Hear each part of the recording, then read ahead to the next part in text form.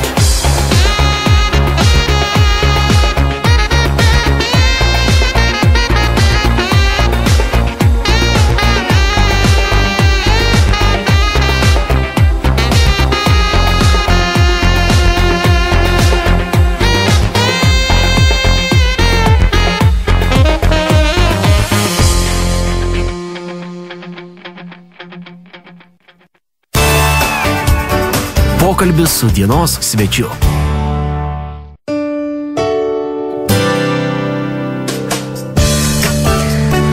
Rezo radio programoje prasidėjo laida pokalbis su dienos svečiu, na, o ją pradėjome Lainiaus vienu iš vizitinė kortelė tapusių kūrinių. Tau visiems gerai, manau, žinomų.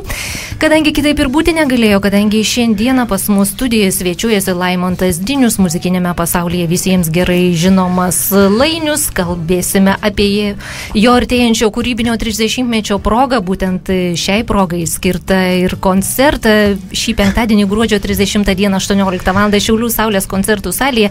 Na ir dar daug, daug būtų galima kalbėti, tačiau apie visą tai papasakos pats Lainius, nu, pirmiausia ir turiu, sveiki Lainiu. Sveiki, sveika Lina, sveiki, mėly klausytojai, taip įdomu jaustis, um, na, pašnekovo, kalbinamo pašnekovo e, rolėje, jau, Taip. jau sen- senokai bebuvau, o apie visus tuos... Mes galėsime dažniau pasikviesti, kad Mm, neužsimirštų ši rolė. Žinoma, ir kalbėti galbūt ne tik apie muziką galima, juolab, kad, e, na, bet šiandien mūsų matyti tokia tema yra ir ji yra tokia labai plati, aktuali, aš manau, kaip sako senesni draugai, yra kol tas e, kūrybinis, e, dabar kaip čia pavadinti gražiau, šaltinis trykšta. O dabar šiais metais jis ištrykš netgi naujų diskų, kurį netrukus išvysime, Jo, bet aš- apie jį gal šiek tiek vėliau, aš manau. Kaip patogiau, jo, galim, galim ir nuo jo pradėti, o kodėlgi ne, nes iš tikrųjų tai dabar vat, sėdžiu čia kaip ant adatų, nes gali būti, kad šiandien arba rytoj jis ir, ir turėtų išvystą dienos šviesą ir, ir tai yra, na, toks kaip tam tikro etapo žymėjimas. Iš tikrųjų šiais laikais kompaktiniai diskai, jau tie albumai yra daugiau tokie kaip simbolinis dalykas, kūrybinė, kūrybinis pas, atsižymėjimas ar, ar tam tikrų darbų kolekcija daugiau įdomi matyti melomanams, gerbėjams, nors jau tai grįžta atgal, nes tie kompiuteriniai žaidimai, kuomet tik tais parsisiunčiami MP3 failai, na, jie neturi tokios kažkokios tai mm, išliekamosios vertės, yra tokie momentiniai, prabėga, jų yra labai daug, be kita ko, neslėpkime, yra juk yra nuvertinama dažnai kuriejų, kuriejų mm, darbas nuvertinamas ta prasme, kad kuomet pirataujama yra. Yra tokie momentai visi, tai štai tie albumai yra tokie kaip, mm, kaip, kaip sielos atgaiva. Iš tikrųjų tai yra e, dar ir tai, kad labai daug darbo tai yra įdėta. Didelis būrys žmonių paprastai dalyvauja, tai nėra paprastai sukūriami dalykai. Aš ilgą laiką neturėjau tokių planų, kad būtinai turi būti, tarkim, metai namie, turi būti įrašyta. tiek- Kažkoks planas, ar ne? Jo, tiek tai dainų, nebuvo. turi Mhm. būti albumas būtinai, jis dabar turi išeiti. Jis pakankamai toks brandus, tiesiog taip susidėliojo, kad jisai kaip ir subrendo, juo labiau, kad man grįžus dabar į tokią laisvos kūrybos stadiją, jeigu galima tai pasakyti, nežinau, tiesiog atsirado labai daug laiko ir, ir daug įvairių minčių, net keli projektai bręsta, kurie ir, ir skirtingi, ir kūrybinė prasme. Atsirado ir tekstų, ir, ir ne tik muzikos, ir, ir įvairios muzikos. Na, žodžiu, kaip vienas mano draugas labai taikliai pajokavo, čia galbūt šiek tiek su juodu humoru galima pasakyti, bet kaip e, tie senieji būdavo e, rusiški automobiliai, jie paprastai prieš, sakydavo, meistrai automobilių sakydavo šitai, prieš užkalant varikliais labai gerai traukti pradeda. Aš dabar traukiu taip, kad dūmai rūksta. Nagi, nagi, tikrai juodas humoras. Labai daug visko norisi paklausti dabar iš to, ką pasakė Lainius, tačiau grįžkime prie to, kalbant apie naują albumą, tai didelė tikimybė, kad tikrai mes jį išvysime koncerte gruodžio 30 dieną, penktadienį. Aš ir pats labai tikiuosi, aš ir pats labai tikiuosi, Tikėkime, kad kaip- niekas nesutrukdys. Ne, čia tiesiog yra grinai ga gamybinės problemos gali iškilti, toks periodas šventinis, e, žinot, kaip yra diena ten, diena šiandien. Tai jeigu viskas vyks pagal planą, tai albumas šiandien vakarop išvys dienos šviesą, o rytoj jis turėtų būti ir šiauliuose. Tai štai, tikėkime. Tikėkime, kad viskas bus gerai, nu o dabar pats minėjai, kad didelis būrys žmonių dirbo prie šio albumo išleidimo, gal pagarsinkime. Tai juos? be jokios abejonės reikia būtinai, būtinai paminėti žmonės, kurie prisidėjo. Pirmiausia, matyti, reiktų pradėti nuo Pauliaus e, Jasiūno. e, Sakyčiau, šiuo metu vieno žinomiausių šiaulių producerių, aš taip jį vadinčiau. Su juo mums dirbti sekasi.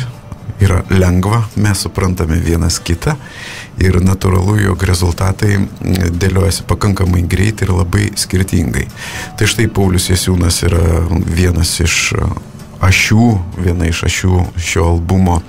Be jokios abejonės reikia paminėti du moteriškus balsus. Pirmiausia, be abejonės Saulė, kurios balsas, na, mes kažkaip... Kurios balsas skamba daugelėje paties dainų. Nei ne? vienas albumas, aš taip kažkaip tai dabar žiūriu, praktiškai nei vienas, neskaitant galbūt rondo ankstyvosios kūrybos, ne, neapsijėjo be saulės vienu, vienokio ar kitokio aspektu, netgi, tarkim, kitose projektuose, ar tai Gedimino Dapkevičiaus roko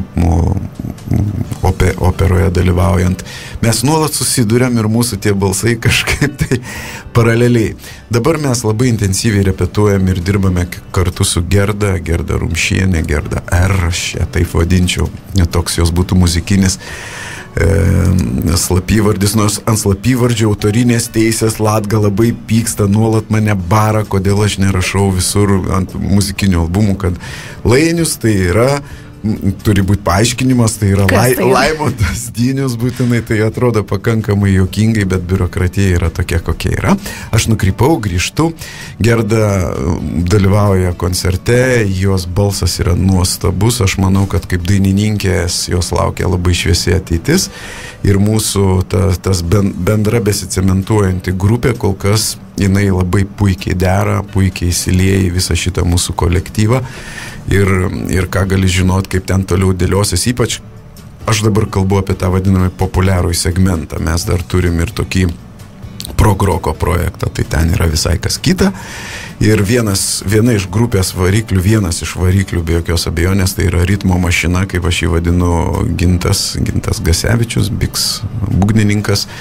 Ir mes kartu dirbam, taipogi labai greitai ir lengvai suprantame vienas kitą, o tai yra Na, sunku įsivaizduoti svarbu. geros grupės be Ginto Gasevičiaus, kiek žinau, Ne, yra lengva įsivaizduoti daug gerų grupių, apsieina ir su elektronika, ir vien, ir yra tikrai daug gerų muzikantų, bet kartais atsitinka taip, kad keli geri muzikantai suėję į grupę ne, nepadeda vienas kitam atsiskleisti, jie pavieniui yra geri, o kartu kažkaip kitaip. Čia yra sudėtingi procesai ir labai svarbu ta bendra, bendra nuotaika, atmosfera ir žmonių supratimas. Tai jeigu jis yra grupėje, tai tai iškart jaučia ir klausytojai, tai jaučiasi procese, ypač koncertuose, tai akivaizdžiai matosi. Reikia paminėti Vaidą Katutį, bosistą, kuris, kuris, aš manau, irgi turi labai šviesę ateitį, yra kruopštus, darbštus, ir, o tai yra svarbios savybės, neleidžia žmogui sustoti toje vietoje, kuris yra, nuolat tobulėjimą, tobulėjimą ir tai, tai žada irgi, kad na, bus, bus labai įdomu, aš manau, sekančiame etape jis dar ir padės dainuoti, nes turi tokią galimybę, dabar kol kas tik tais buvo sugur, bet tai nėra lengva, tai nėra lengva ir instrumentą valdyti. taip. Na ir veteranas, be jokios abejonės, su kuriuo mes susidurėm periodiškai įvairiose projektuose, šiaulietis, šiaulietis e, Sigitas Orūnas, e, ilgametis vairo gitaristas, e, mes dar pažįstami nuo taip vadinamos strojkės laikų, kuomet ten ir, ir visur šiauliuose ir kitose miestuose būdavo šokiuose grojama gyvai, grojami coveriai įvairiausių roko grupių ir taip toliau. Na, žodžiu, žmogus, kuris instrumentą valdo, turi savo stilių. Ir kai mes sutarėm, tada gaunasi viskas labai ir labai neblogai. Grįžtant prie albumo e, paties jo įrašymo, tai be jokios abejonės reikia paminėti ir tos žmonės, kurie, kurie prisidėjo tiesiogiai ir netiesiogiai prie idėjos atsiradimo albumo viso minties. Tai aš naudodamasis progą noriu paminėti ir savo tėvą, kurio tekstų išliko labai nedaug ir e, aš juos taip fragmentiškai panaudojau albume taipogi. Nu, Va, ir, Beje, apie tėčio tekstus pirmą kartą tenka girdėti. Tai yra iš, tik, iš tikrųjų, tai yra ne, niekam nežinoma. Mano tėtis, kaip sakoma, kaip amerikonai sako, pass away, paliko šitą ašarų pakalnį jau senokai. Ir e, tai, kas išliko stebuklingų būdų, kaip aš vadinu, na tai yra atskira istorija iš jo ra- rašytinių palikimo. Aš manau, kad jis, jis žinojo, ką jis daro. E, Aš tekstus rašau neblogai. Aš čia pasigirsiu tiesioginėme eteryje, taip jau dauguma kritikų sako, bet e, mano, mano čia subjektyvių vertinimų mano tėvas rašė jos dar geriau. Bet gaila, kad tų tekstų nelabai daug išliko. Tai štai fragmentus aš kai kuriuos panaudojau, albume jie yra. Reikia paminėti ir e, prisidėjusius žmonės prie mūsų kūrybinio proceso, Rebelhat gitaristą Dainių Rubanavičių kurio daugiau kūrybos bus kitame albume ir kitokiame, kurį aš su malonu pristatysiu. Tai jau kai, pakeliu į dar vieną. Kai, kai tik tais mes jį įpusėsim, tai aš mhm. atbėgsiu pas jūs ir pristatinėsim nes e, jūsų radio formatas iš tikrųjų tam puikiai tinkamas, jūs nesate apriboti kažkokiais, tai reiškia, tai, kad jūs tai grojate, tarkim, tik popsą, o ne, jeigu ten ne. bus truputį daugiau gitaros, tai nebegrosit. Ne, tai štai, ir be jokios abejonės senas bičiulis, mano senas draugas, su kuriuo mes labai gerai sutarėm, Andrius Mamontovas, aš manau, kad koncerte Šiauliuose gruodžio 30 mes jį taipogi išvysim. Tai va, mes labai dažnai ir susitinkame, ir, ir, ir, ir padainuojam kartais, ir, ir apie tekstus pakalbam. Žodžiu, yra tam tikrų sąlyčio taškų ir daina, titulinė albumo daina Kitos duris, jis dalyvavo joje.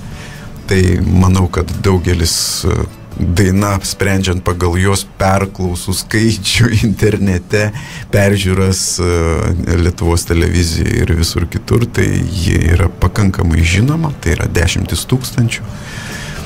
Na ir netrukus mes pasiklausysime minėtos dainos, tačiau prieš tai dar noriu paklausti, e, mes kaip ir kitos radijos stotys gavome remiksuotą šios dainos versiją. Jo, tai yra, tai. tai yra naujas darbas, visiškai yra e, Vitaro Kavaliausko, jaunas produceris šio laikiškos daugiau muzikos, tai buvo toks irgi surprizas.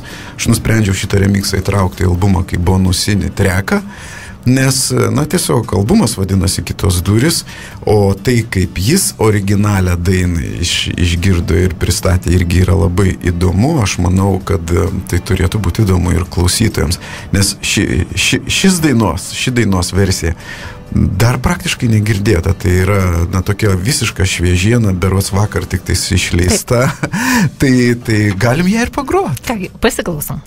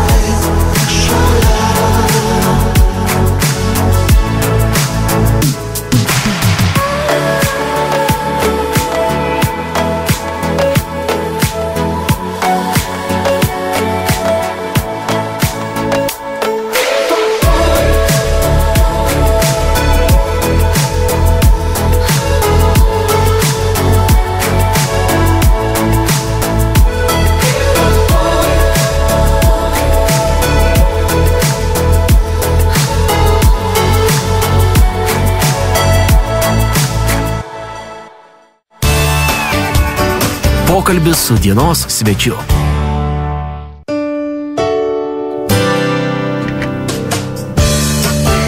Grįžtame prie šios dienos pokalbio, kuriame šnekučiuojame su Laimontu Diniumi, tiesiog lainiumi visiems gerai žinomu pažįstamu. Ir kalbame apie artėjantį 30-metį tai progai skirtą koncertą, būtent šį penktadienį, gruodžio 30 dieną 18 val. Šiaulių Saulės koncertų salėje, taip pat apie pakeliui jau čia pat šiomis dienomis atkeliaujantį naująjį Lainiaus diską. Dar šiek tiek Lainiau noriu ir paklausti būtent apie minėtą diską, kiek laiko galbūt truko jo visa kūryba. Aha, taip. Ar viskas sklandžiai ėjusi, kaip norėtasi? irgi perklausiau tą naujausią darbą, nes, nes, na, tokia intelligent pop versija, šio laikiška, originalas dainos be jokios abejonės yra originalas, bet ši versija irgi labai įdomi. Albumas... Beje, diskė, kurios bus versijos, ar abi, ar Abi, kuri? abi, bus abi, abi versijos be jokios abejonės. Tai kalbant apie albumą, jis toks nebuvo labai greitai. ne, ne greitai, ne tai, kad e, dvi savaitės mes ten jį įrašėm. Jis dėliojasi gana ilgą laiką ir, ir užtat e, aš galvoju, kad tai yra branda, kad nėra atsitiktinių. Jis lengvas, pakankamai toks um, iš dviejų dalių. Kaip ir koncertas, tarp kitko, bus, kaip aš vadinu, A pusė ir B pusė. Tai tas kompaktinis diskas yra irgi A pusė ir B pusė, tarp kitko po naujųjų atsiras ir plokštelė, vinilas, ji bus apskritai rinktinė, bet irgi bus A pusė ir B pusė. Tai yra vienos stiliaus tokios dainos, kurios labiau, na, naujai romantikai būdingos yra. Ir yra tas tikrasis intelligent popsas, kaip aš vadinu, ten yra minimaliai minimaliai įdėta to, kas mm, kartais kritikų vadinama pataikavimu publikai. Nors aš labai nemėgstu, kai taip yra sakoma, todėl kad gyva nuotaika ir e, sugebėjimas paprastais būdais, paprastais akordais, paprastais ritmais perteikti tam tikras nuotaikas yra tikrai labai labai sunkiai pasiekiamas. Nėra taip paprasta. Taip. Tai yra labai nepaprasta. Visi, kurie sako, ai, čia šita daina trys akordai išpopuliarėjo ir yra populiari todėl, kad labai paprasta, kalba, aš kalbu apie muzikantus kolegas, su tam tikrų baltų pavydu, nes, nes sudėlioti melodiją. Paprastai padaryti nepaprastai yra tai dar yra sudėtingiau. labai taip. sudėtinga. Tai štai, tame albume, aš manau, yra tokių brandžių kūrinių, būsiu labai nekuklus, didesnio, daugiau negu pusė, didesnioji dalis netgi. Beveik visos dainos yra vienaip ar kitaip pirmą patikrintos ar radio klausytojų, ar, ar didžėjų, arba, netarkim, kaip, kad daina viskas gerai, kur mes rondo laikais atlikdom į mūsų modernę aranžuotę, ar ne, tiesiog. Ir užtat kiekvienas kūrinys turi savo vietą, aš manau. Įskaitant, kai ir, ir garsėje Čivinsko Edmundo amžinatilsio dainą, kurią aš, na, jo atminčiai kažkada tai rašiau coverį, irgi įdėjome į albumą. Ne todėl, kad jis labai ten, na, įsipina į tarp kitų dainų, bet tiesiog todėl, kad, na, daina tokia, kad ji kabina visus žmonės ir koncertuose tai labai akivaizdžiai matosi. Vieniems vienaip, kitiems kitaip, bet aš nesu prietaringas ir nesu kaip čia dabar toks, tokį žodį gal pasakysiu, fanaberiškas. Kai, kur, kai, kas, kai kas bando, reiškia, būti tokie truputį kolegos, to, tokie, kad būtinai aš to darau, o šito nedarau. Tai štai tas albumas yra toks įvairiapusiškas, labai paprastas, aš manau, šiais laikais turint tą techniką, jeigu kas nors kliūna, kuri daina labai paprasta padaryti skip, bet tame albume šito nėra, jis tiesiog labai nuotaikingai teisingas. o, o prisigyriau. Štai kaip. prisigyriau iš tikrųjų, tai va. Nu, Lainiau, kaip pats apibūdintum savo naująją kūrybą? Ji panaši į ankstesnį, skiriasi visiškai savita.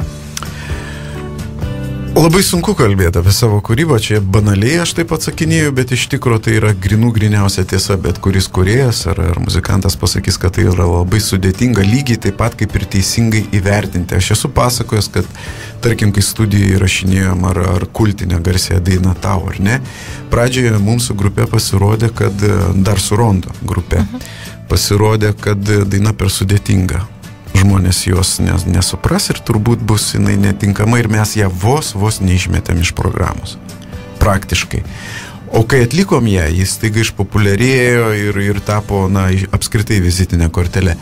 Tai, tai štai yra, pačiam yra labai sunku įvertinti. Kartais ta nuomonė iš šalies, kodėl reikalingi produceriai, mūsų daugumos muzikantų yra didžiulė bėda Lietuvoje, kad nėra profesionalių producerių arba jais nepasitikima iki galo, norint pasiekti vienokį ir kitokį rezultatą. Mano muzika yra labai įvairia pusiška, įvairia lypė. Tai yra, kurie iš vienos pusės irgi bėda. Nes tu tiesiog nežinai, nežinai ar, ar tavo gerbėjai tam, kuris, tam žmogui, kuris, na, labai vertina tokias dainas kaip, tarkim, atsiprašau, tyliai, tyliau, taip, lėlė, ar jiems tiks daina viskas gerai, arba gera diena.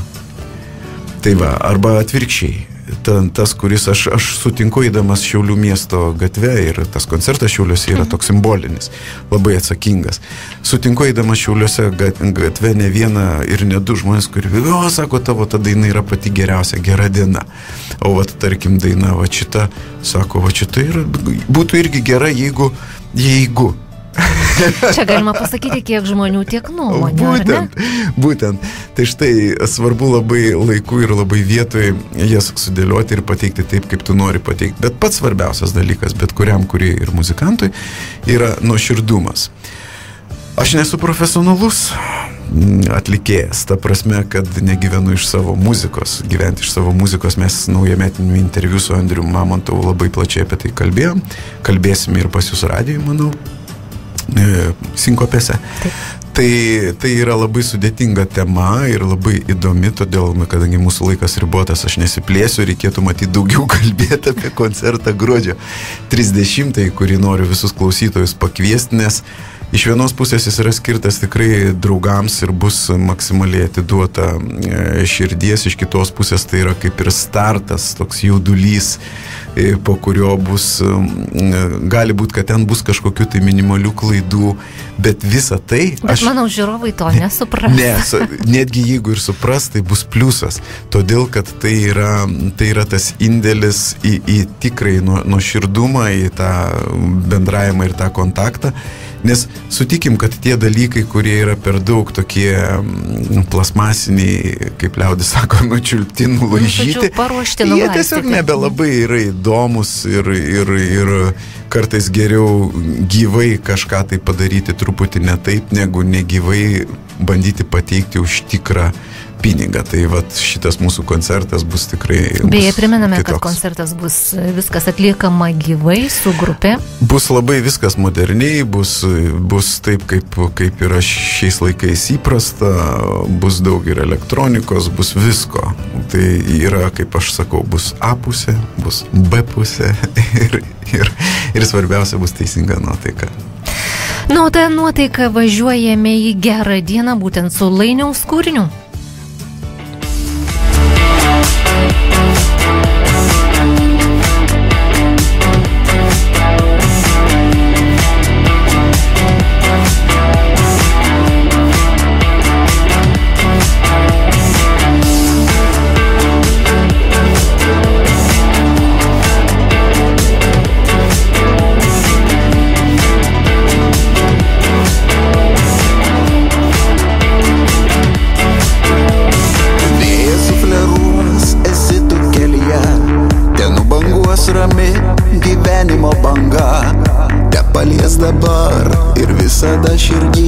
me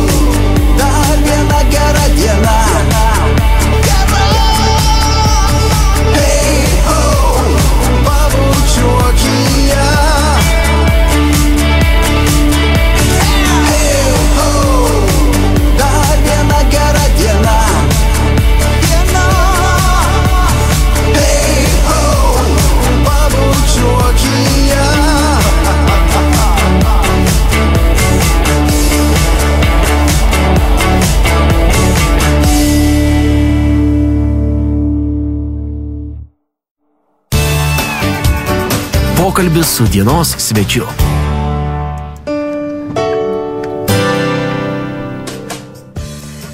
Toliau keliaujame mūsų dienos svečio laida ir būtent e, šiandieną studijoje ir svečiuojasi šio reiškinio kaltininkas Lainius. O reiškinys tai yra, jog gruodžio 30 dieną šį penktadienį minėsime e, šio atlikėjo kūrybinį 30-metį. Ta progas kviečiu visus į koncertą 18 val. Šiaulių Saulės koncertų salėje. Na ir taip pat dar vienas didelis reiškinys. Jau šiomis dienomis laukiame naujojo Lainiaus albumo Kitos duris. Dar prieš tai lainiau noriu paklausti apie paties kūrybą. Kiek ar ją apskritai įtakoja aplinka? O, geras klausimas iš tikrųjų.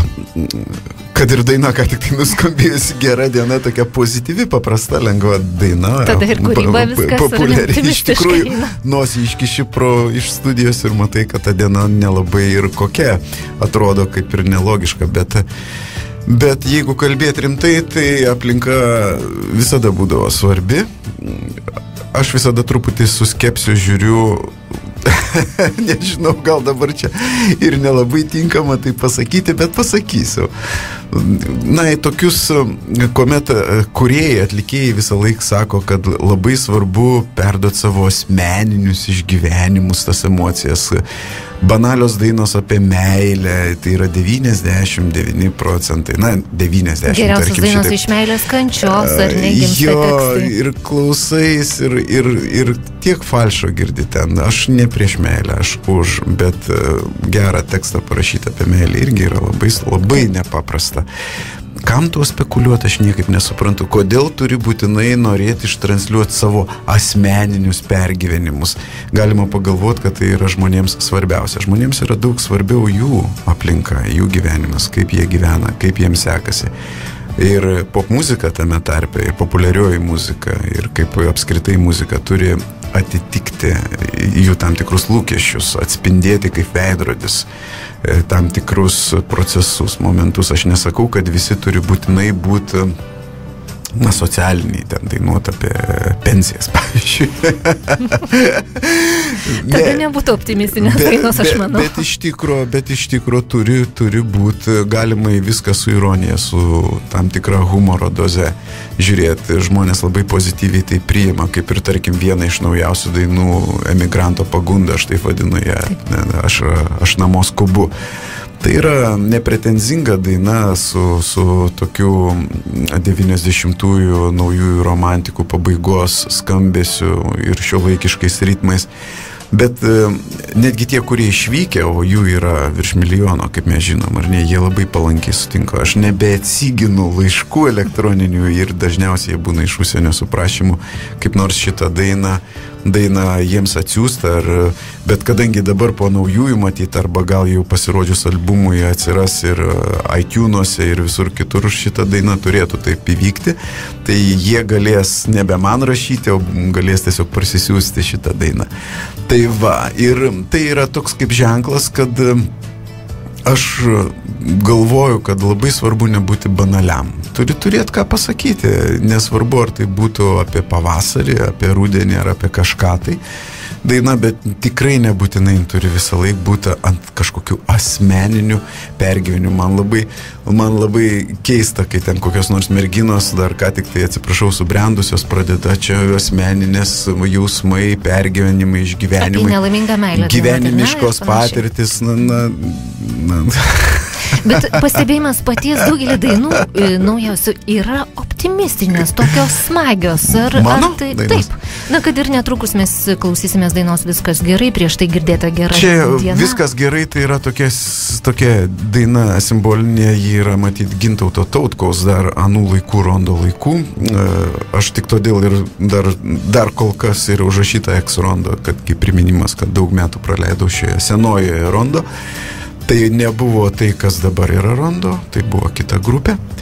Ir, ir tam tikros dainos jos paliko be jokios, be jokios abejonės atspindį. Nors jeigu taip žiūrėti jau visiškai atvirai, procentaliai tos romantikos, tokios mm, mano kūryboje gal yra daugiau negu to, to tiesiog pozityv, kaip gera diena, kur yra pozityvas, le- lengva tokia muzika, nors tai nėra nei kiek, nei kiek prašiau negu kad romantika, bet tiesiog tai va tokia vidinė būsena mano daugiau yra.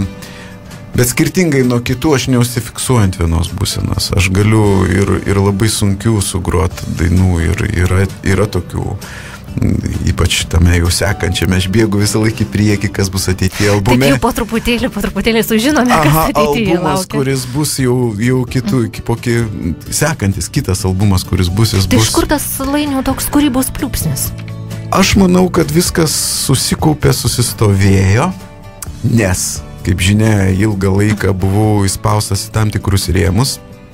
Arba pavadinkim tiesiog visiškai atvirai, buvau pats gal įsispaudęs į tam tikrus rėmus, pradedant nuo, nuo darbo, darbo Seime ir visur kitur, kur tiesiog buvo įs- įspausti rėmai ir tu negalėjai daug ko daryti, negalėjai daug ko net kalbėti atvirai, netgi matydamas, kad... Tai me- viskas kaupėsi, kaupėsi ir ne, Netgi išeitų. matydamas aplink tai, kai kiti meluoja arba kaip apie tave meluoja, tu negali šito apsiginti, negali, negali pasakyti, nes esi rėmose. Dabar aš galiu, galiu laisvai kalbėti ir kai tu tą pajunti, tokią vidinę laisvę, visa tai, kas buvo susikaupę, tiesiog atsiveria. Ir, o kad aš e, įėjęs į studiją arba būdamas, e, arba kurdamas ar rašydamas, nesvarbu tekstą ar muziką, visada turiu be galo daug sprendimų ir idėjų, tai nežinau, čia, čia taip, taip yra, čia ne, ne, ne todėl, kad norėčiau pasigirti ar kaip, bet aš paskutiniu metu ir dabar ir, ir artimiausių metų ruošiuosi skirti labai daug laiko kitiems atlikėjams ir produsuodamas, ir rašydamas jiems irgi tame tarpe, nes tiesiog labai daug visko prisikaupė. Dabar tas kūrybinis 30-metis, būkim bėdini, bet sąžiningi ir, ir pavadinkim daiktus savais vardais. 15 metų beveik buvo tylos. Epizodinės tokios, aš ten tiesiog kai kam padėdavau, kai ką darydavau, bet pats buvau tose rėmose. Na, gal ne 15, tarkim 10 metų. Ir dabar po dešimties metų Tai tos dabar jau pliūpsnis bus kaip reikia. Kaip vulkanas. Jis jau prasidėjo. kaip vulkanas, aš tikiuosi, kad viskas bus gerai ir tas simbolinis ši, šiaulių koncertas, jis, jis daugiau draugams, artimiesiems, aš ne, ne, ne, negalvoju, kad jis turėtų būti kažkoks tai ten, kažkoks tai netikras, jis bus labai tikras, labai gyvas, o kitais metais jau mes žiūrėsim, kaip dugną dėsim. Beje, kalbant apie koncertą ir kūrinius, išgirsime iš naujausio albumo ar išgirsime taip pat pamėgtas e, senesnės dainas. Aš manau, kad mes išgirsim visus, visa, visus geriausius O. kūrinius su, su galbūt netikėtais sprendimais. Kai kurios dainos bus galbūt visiškai, visiškai kitaip pateiktos, taip kaip atrodo šiandien. Bet e, aš manau, kad geriausias dainas mes girdėsim. Klausytojai, žiūrovai visi girdės, girdės visas. Nes ir repeticijose, ir tai, ką mes dabar darom, tiesiog įdėjom daug labai dušios ir pastangų ir aš tikiuosi, kad pavyks. Tu niekiek nebejojam ir čia dar šiek tiek noriu paklausti, pats jau truputį užsiminėjai apie tuos projektus, naujas idėjas, kokių dar idėjų gnipžda Lainiaus galvoje? Idėjų, idėjų tai yra labai daug. Žinoma, di didelę dalį visų, viso laiko na, atims pagrindiniai darbai, kurie vis tik tais dar yra šalia muzikos, tai pavadinkim. Gyvenimiška patirtis duoda labai daug, bet apart muzikos dar reikia dirbti ir kitus darbus. Tai va, o, o muzikinės idėjos, kadangi mes šiandien kalbam tik apie muziką, ar ne, tai jos yra net kelios. Aš manau, kad kitais metais pasirodys galbūt šiek tiek neįtikėtas su ryškiais roko atspalviais. Projektas, kurį mes parodysim labai nedaug keliose festivaliuose ir, ir galbūt keliose klubuose. Jis bus toks labai limituotas, kaip o, Nu, jeigu publika sako. pageidaus daugiau. Žiūrėsim, žiūrėsim, bet ta idėja, kuri, kuri mm, yra subrandinta, ji tokia yra, mm, na, jin tokia specifinė labai, bet irgi išgyventa. Dar vieną turim idėją, turiu tokią idėją, jeigu pavyks ją įgyvendinti, tai bus keli koncertai, kuriuose pasirodysim visi tie, kurie, kaip čia dabar pavadinti, kukliau na, kurie prisidėję buvo prie lietuviškos popmuzikos ištakų labai rimtai, aš dabar jų vardų ir pavardžių neminėsiu, bet kai ateis tam laikas, mes būtinai šitą projektą pristatysim, aš turiu labai ir labai neblogą idėją, kad tam tikri muzikantai sueitų visi į krūvą ir tai tikrai būtų nustebinta tam tikra. Sunku net įsivaizduoti, ar tai įmanoma. Aš irgi galvau, kad sunku, bet kaip pakalbėjau, a, galiu pasakyti vieną kitą Va, va, va, vardą, po jo. truputėlį Kai- išpešim. Kai mes pakalbėjom su Fara, Aleksandru Ivanausku, kai pakalbėjome su Igoriu Berinu, kai pakalbėjom su Andrium ir, ir dar kai kuriais, Gimė geros idėjos, spėjau. pradėjo bręsti ta mintis, kad galbūt mes galim. Galim. Ir jeigu klausytojai gali įsivaizduoti, jeigu pavyks visiems tiem žmonėms sueiti į krūvą ir į sceną vienu metu, Vyks sprogimas. Ne, tai nesupratau, tai bus tiesiog, ne, nereikia taip dramatizuoti. tai bus tiesiog labai įdomu. Tai bus tiesiog labai įdomu, o tai yra svarbiausia. Va, ir be kita ko, aš dar turiu ir, ir, ir, ir minčių prikalbėti kažką iš savo senųjų draugų. Įrašyti tokių, tai bus, na, ambientinis ar, ar, ar simforoko toksai, nežinau, kažkoks tai projektas, prie kurio vienas produceris, geras bičiulis, žada prisidėti gyvenantis nunai Maskvoje ir tai bus vėlgi visiškai, ne, jau galima pavadinti nepopuliarioji muzika, tai bus daugiau tokie eksperimentiniai dalykai, bet tam tikrai klausytojų daliai tai gali būti irgi labai įdomu. Plus darbas su jaunais atlikėjais ir be jokios abejonės pagrindinis, tai tai, ką mes darom dabar su grupe. Aš dar kaip paslapti išduosiu, kurios niekam nesakiau. Laukiam. Dievaži, pirmą kartą sakau, gali būti, kad šita grupė taip ir pasivadins kitos duris. Va, šitą, Vau. va, tai ir jeigu mes visą šitą taip mums pavyks tai realizuoti, tai aš manau, kad mes pajudėsime į priekį ir tai visais atvejais turi būti įdomu arba įneš tam tikrų spalvų, galbūt į, į, į lietuviškos muzikos pasaulį ir tai yra pagrindinis, pa, pagrindinis dalykas, be jokių pretenzijų, ne, neplanuojant ten kažką, kad čia kažkas tai vyks revoliucijos, tų revoliucijų yra ir, ir be mūsų daug. Kągi smagu, linkime visų planų, visų idėjų lainiui įgyvendinimo. Viena ta Taip. frazė, kuri aš dabar įsivaizduoju, dai- daina bus viskas gerai, yra Taip. tokia labai lietuviška yra, ir ten labai tas priedainis tinkamas. Man gerai ir taip. Jei geriau nėra, mums gerai ir taip. O iš tikrųjų tai čia yra su tam tikra ironija, kad visada galima geriau. Netrukus mes pasiklausysime minėtos dainos, Lainiaus viskas gerai, Lainiui dar kartelį pasikartosiu, linkime visų minėtų idėjų, planų įgyvendinimo, susiklausysime jau kitais metais, kitoje laidoje, kada kalbėsime apie kitus projektus. O Nu, šiauliečius tai reikia pakviesti taip, taip, gruodžio būtinai. 30-ąjį koncertą. Šį penktadienį tai bus 18 val. Šiaulių Saulės koncertų salėje. Susitinkame visi ten paminėti Lainiaus e, 30-mečio kūrybos progą e, paminėjimo, o pabaigai ko Lainius palinkėtų visiems Resdu radio klausytojams. O, neturiu pasiruošęs tokio specialaus, kaip, kaip surepetuoto ten Tiesiog paprastai, neprastai, kaip pats Ne, ne, pap- mėgsti. Paprastai tas palinkėjimas yra toks, daugiau toks ištilėtas šiuo atveju, negarsus, nes garsių tų visų standartinių frazių jas lengva pakartot, bet aš galvoju, kad e, dabar reikia to tokio paprastumo ir gerumo. Gerumo, tiesiog įsiklausimo, nebebėgti ir žiūrėti, reiškia, kažką bandyti vytis, bet tiesiog kartais sustot, pasižiūrėti savo artimus, palinkėti jiems kažko tai gero ir natūralu tikėtis, kad tai grįž atgal, o grįžta dažniausiai dvigubai, trigubai. Ką pats linki, ką pats darai, tą gauni atgal, tai šitą ir linkiu visiems. To paties gerumo apsikeitimo linkime Lainiui atgal. Na ir pabaigai žadėtas kūrinėlis. Viskas gerai.